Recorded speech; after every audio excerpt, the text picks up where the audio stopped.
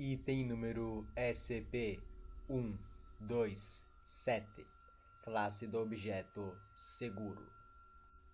Procedimentos especiais de contenção.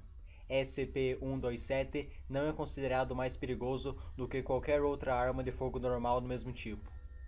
Entretanto, devido às suas propriedades extraordinárias, quando não estiver sendo utilizado, o objeto deve ser mantido no armazenamento de armas CTC suspenso em água com altos teores de cálcio e proteínas. Atualmente, o acesso ao objeto é restrito à equipe de pesquisa designada a SCP-127. Descrição: SCP-127, à primeira vista, parece ser uma submetralhadora MP5K comum. Testes revelaram que, fora seu revestimento exterior, o objeto é inteiramente orgânico e vivo. A munição disparada pela arma inicialmente foi identificada como sendo composta por dentes, similares aos de humanos.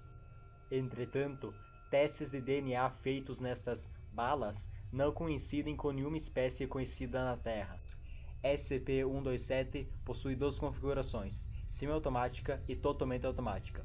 Um gemido pode ser ouvido quando o modo é trocado. Após esgotar o pente de munição da arma, o que tipicamente ocorre após 60 disparos, o objeto leva de 3 a 5 dias para regenerar um novo estoque de munição. Tentativas de remover o pente fracassaram. O componente encontra-se, aparentemente, preso à arma de maneira permanente. No momento, SCP-127 não parece ser capaz de reprodução.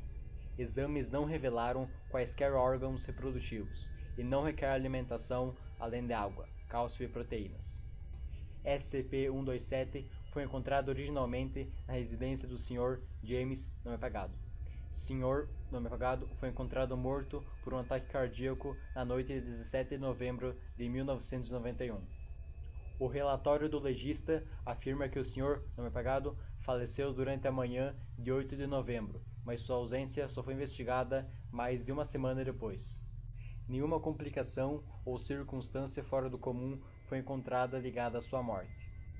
Devido à sua grande coleção de armas, as entidades ATF e FBI foram contatadas postumamente para retirar suas armas. SCP-127 foi descoberto durante testes e catalogação posteriores e rapidamente obtido por agentes SCP. Adendo: reclassificado como seguro, de apagado, mês apagado, 1990 e apagado.